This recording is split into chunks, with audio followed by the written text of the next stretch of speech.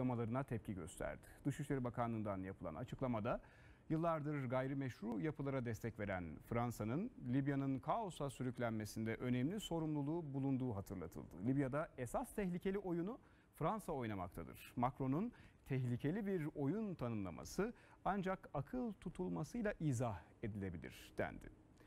Dışişleri Bakanlığı Sözcüsü Hami Aksoy yaptığı açıklamada Türkiye'nin Birleşmiş Milletler kararları çerçevesinde ve talebi doğrultusunda Libya'nın meşru hükümetine destek verdiğini hatırlattı. Doğu Akdeniz'de kıyısı olmayan Fransa'nın sahildar bir ülke gibi davrandığına dikkat çekti. Libya'da yaşanan sıkıntıların Macron'un da desteklediği darbeci Hafter'in saldırılarından kaynaklandığı hatırlatıldı.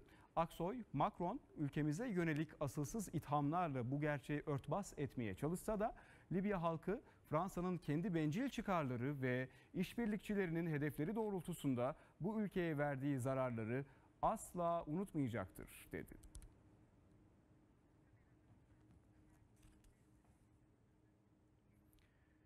Fransa Cumhurbaşkanı Macron'a AK Parti sözcüsü Ömer Çelik'ten de tepki var. Ömer Çelik, Macron'un Libya ve Akdeniz konusunda Cumhurbaşkanımızı ve Türkiye'yi hedef alan açıklamaları asla kabul edilemez.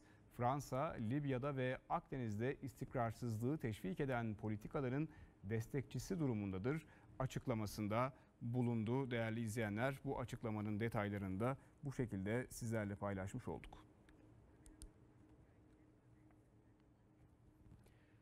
Hadımköy'de şiddetli fırtına nedeniyle çatılar uçtu. İstanbul'da yağış etkisini gösterdi, göstermeye devam ediyor. Hadımköy'de şiddetli fırtına nedeniyle çatılar uçtu. Değerli izleyenler, e,